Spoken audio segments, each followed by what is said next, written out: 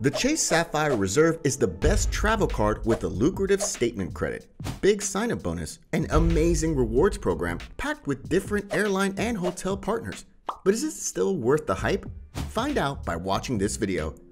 Hey guys, welcome back to our channel. We compile the latest business world news for you to keep up to date with. Our videos are guaranteed to keep you coming back for more insightful and amazing content. So make sure to like, comment, and subscribe to the channel so you're always up to date with our latest videos as soon as they're uploaded. And so without further ado, let's start with today's video. As we know, the Chase Sapphire Reserve card is probably one of the most popular premium credit cards out there. Since the credit card was introduced about 5 years ago, it's been a no-brainer for many. But a lot has changed, both in absolute and relative terms. The card's annual fee has increased. The coronavirus pandemic changed a lot of consumer behavior, and we recently saw significant changes to both Sapphire cards. The Chase Sapphire Reserve has proven to be the best for frequent travelers looking for a premium card, which offers easy to use benefits, valuable points, and an excellent ongoing return on travel spending. More casual travelers or those mainly interested in earning points for travel should take a closer look at its $95 yearly fee counterpart, the Chase Sapphire Preferred Card. Right now, the Chase Sapphire Reserve Welcome Offer is worth around $750 in travel, as your points are worth about 1.5 cents each when earned through Chase Travel. You can even transfer them to any of the 10 plus hotel and airline Chase Ultimate Rewards transfer partners. Moreover, the value you get from the bonus points will mainly depend on how you redeem them, though it is estimated that you can earn an average of 2 cents per point by transferring to partners. Also, the welcome offer is close to that of the Amex Gold card, a card that comes with a lower annual fee.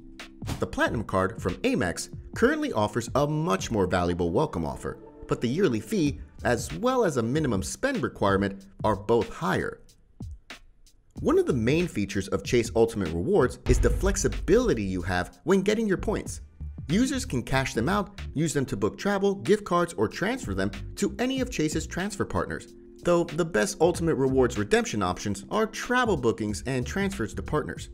When transferring Ultimate Rewards points to airline and hotel partners, usually provides the highest value for your points. It's been estimated that the average value for transfers to be 2 cents on each point, though some partners are better than others. For example, you get a high return on points with most airline programs, including United and Southwest, and the World of Hyatt, but you'll lose value on most transfers to IHG Rewards Club and Marriott Bonvoy.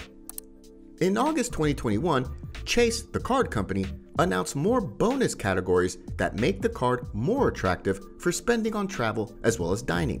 The 10x total points on car rentals and hotel stays purchased through Chase Ultimate Rewards.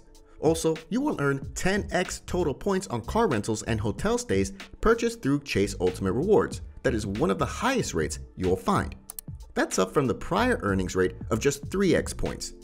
This means $1,000 spent on hotels would earn you 10,000 points, which you can turn around and avail for $150 on travel in the Chase Ultimate Rewards portal. That is because points earned on the Chase Sapphire Reserve are worth almost 1.5 cents each toward travel redemptions through the portal. You can even transfer those points to one of the Chase transfer partners, including United Airlines and Hyatt, as well as for a potentially even higher return. A 15% return or even more in the form of Chase Ultimate Rewards points from your travel spending is a pretty sweet deal. You'll also earn 10x points with a 15% return on Chase dining purchases through Ultimate Rewards.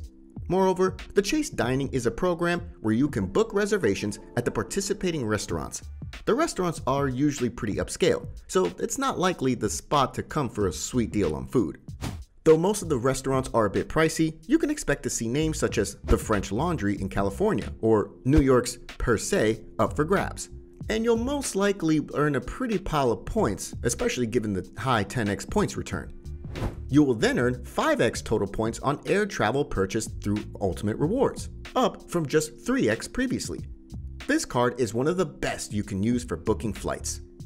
A $1,000 spent on air travel translates to 5,000 points worth $75 when redeemed for travel through the Chase Ultimate Rewards portal. The 7.5% return on airfare in the form of Chase Ultimate Rewards points is among the best you will find. The existing Chase Sapphire Reserve cardholders already have access to Priority Pass lounges, which is a network of almost 1,300 airport lounges, which serve free snacks or meals, power outlets, along with a calmer ambiance than your standard terminal. Furthermore, the number of lounges you can access will soon grow. Chase has even announced the location of three new lounges that are set to open this year, all of which will be accessed on the Priority Pass network. Dubbed Chase Sapphire Lounge by the club, lounges will be located in New York's LaGuardia Airport, Hong Kong International Airport, and Boston Logan International Airport. Chase stated that the exact opening dates and future lounge locations would be announced later. So, is the Chase Sapphire card fee worth it? The Chase Sapphire Reserve's $550 yearly fee puts a solid dent in your wallet. For this fee to be worth it, you'll need to use most or all of the card's perks. For the initial year, the card easily justifies its cost. Once you add in the $300 yearly travel credit and a $100 reimbursement for a global entry membership, you're already getting over $1,100 in value, more than twice the annual fee. The sign up bonus is worth $750 towards travel. After that first year, it's not quite so clear cut. The $300 travel credit brings the credit card's cost down to $250 per year after the yearly fee. If you avail 17,000 Ultimate Rewards points, those will be worth more than the yearly fee. Here's a simple way to look at it. If you want to use the Chase Sapphire Reserve for your expenses, its value will likely outweigh the yearly fee. If you're going to use multiple top credit cards, you'll need to do the math to see if the yearly fee makes sense. However, it's not worth it if you carry a credit card balance. Interest charges will always cost you more than any card points you earn. And to come out ahead with the Chase Sapphire Reserve, you need to consistently pay off your full balance so you don't get charged any interest. You're on a tight budget. The Chase card can be worth the yearly fee. However, it's still a sizable one at $550 a year. If you're trying not to spend too much, then you're better off with a more affordable card. You don't often travel. Many of these cards' benefits are travel related. It only makes sense for card users to travel multiple times per year and are sure to use the $300 yearly travel credit. So in conclusion, the Chase Sapphire Reserve is an incredible, well-rounded travel rewards card that has maintained its value well. Not only that, but having a card redeeming ultimate rewards points is still very much worth it. That's especially true given that it opens up value with four fantastic no annual fee cards the Chase Freedom Flex, Chase Freedom Unlimited, Ink Business Unlimited, and Ink Business Cash.